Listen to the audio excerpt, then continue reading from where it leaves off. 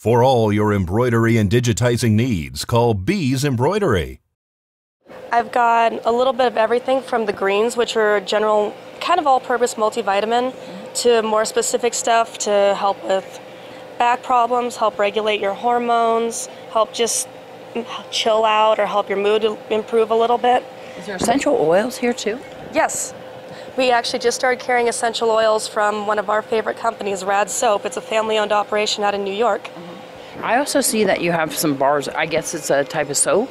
Oh yes, it's also the Rad soap. It they go along. They're made with the essential oils and some other ingredients. They're all natural, even vegan products, and they're just fabulous. And it's a soap bar that will last for usually two or three months. And we also have some soaps from some local artists here in town that make soaps. Uh, we have a, a, nice choice. Tell me about. Uh, have you guys used them? Yes.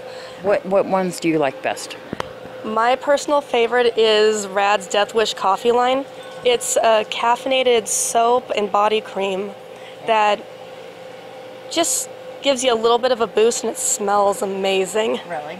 Tell me about the interesting story behind some of these natural products that you have here. Who makes these? Angela Harris out of Las Vegas makes all of our herbal products. And she based them on trial and error, how her friends maybe reacted to it and they're just natural products given to us and they're made to help your body with the needs it needs in this area. She herself was fighting a disease, right? Yeah, she overcame or she at least cured all her symptoms of a cancer that she had at one time and it's now like 25 years later and she's just doing wonderful. She works every day in the store. She actually is campaigning for various herbal products to be released. It's she's just a fabulous person. So they can get them right here at uh, do it best hardware right here on frontage road open what days a week? Seven days a week 7 a.m to 6 p.m monday through saturday and 8 to 4 on sunday.